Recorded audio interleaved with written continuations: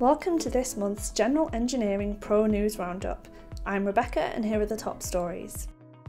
ADNOC Gas has awarded EPC contracts worth a combined $550 million to expand the natural gas pipeline network in the UAE by about 300 kilometres. The extension, known as the Estidama project, will enable higher volumes of natural gas to be transported to customers in the Northern Emirates. At its current capacity, the pipeline enables delivery of sales gas to customers across Abu Dhabi, Dubai, and the Northern Emirates, meeting over 60% of the UAE's gas requirements according to ADNOC data.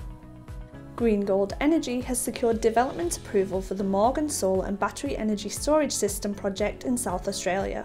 This will be its largest project yet, estimated to generate an investment of over 185 million Australian dollars. The plant will be constructed over a 622 hectare site in Mid Murray Council and will have 108 megawatts of solar capacity and 91.7 megawatt hours of BESS. The Royal Academy of Engineering has awarded Dame Judith Hackitt the 2024 President's Medal. As a trustee and chair of the External Affairs Committee, she fostered the launch of the This Is Engineering campaign to encourage young people to consider engineering as a career. In 2017, she also led the independent review of building regulations and fire safety following the Grenfell Tower fire, making a series of recommendations which have since been implemented to address issues with construction. AG&P LNG and BK LNG Solution completed an agreement to introduce the first spot cargo into China. The partnership signifies a pivotal moment for enhancing LNG supply reliability in China as the import market is set for substantial growth. The first delivery is expected by the end of August this year. In an analysis of more than 50,000 individuals worldwide, carriers of gut blastocystis were linked to indicators of good cardiovascular health and decreased body fat.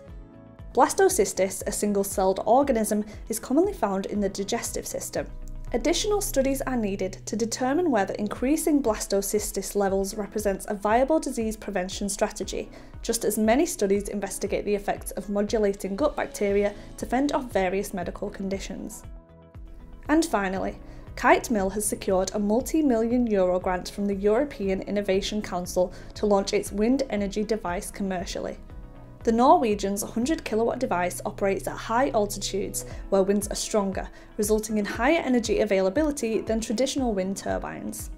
Kitemill is now eligible for the EU's Blended Finance Programme, which will match funding up to 8 million euros in private investment. That's all we've got time for today. Don't forget to follow us on LinkedIn at NES Fircroft for your daily dose of engineering news, career advice, and job vacancies. See you next time for our engineering news roundup.